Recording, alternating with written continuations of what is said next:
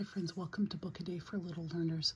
Friends, today we're going to read Anti-Racist Baby by Ibram Kendi and illustrations are by Ashley Lukashevsky. Anti-racist baby is bred, not born. Anti-racist baby is raised to make society transform.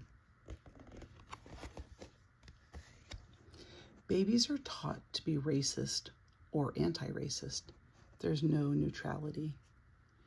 Take these nine steps to make equity a reality. Do your part. One, open your eyes to all skin colors. Anti-racist baby learns all the colors, not because race is true. If you claim to be colorblind, you deny what's right in front of you.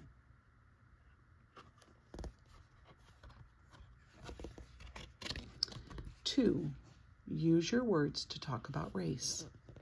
No one will see racism if we only stay silent.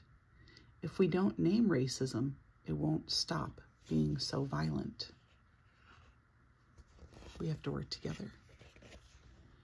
Three, point at policies as the problem, not people. Some people get more while others get less because policies don't always grant equal access. Four, shout. There's nothing wrong with the people. Even though all races are not treated the same, we are all human, anti-racist baby can proclaim. We're all human, we all love.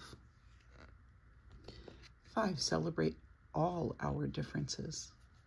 Anti-racist baby doesn't see certain groups as better or worse. Anti-racist baby loves a world that's truly diverse. Everybody's different. Six, knock down the stack of cultural blocks. Anti-racist baby appreciates how groups speak, dance, and create as they choose. Anti-racist baby welcomes all groups voicing their unique views. Seven, confess when being racist. Nothing disrupts racism more than when we confess the racist ideas that we sometimes express. Eight, grow to be an anti-racist.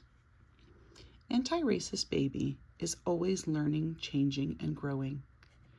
Anti-racist baby stays curious about all people and isn't all-knowing. Always learn more. Nine, believe we shall overcome racism. Anti-racist baby is filled with the power to transcend, my friend, and doesn't judge a book by its cover, but reads until the end. Keep moving, keep growing, keep moving forward. Thank you for joining me for Anti-Racist Baby today and I look forward to seeing you tomorrow for another new story.